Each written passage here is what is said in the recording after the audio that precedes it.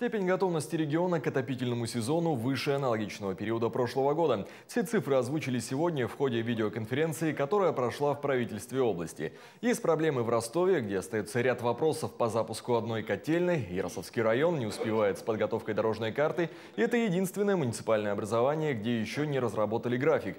Есть районы, которые сформировали дорожную карту, но отстают от исполнения графика работ.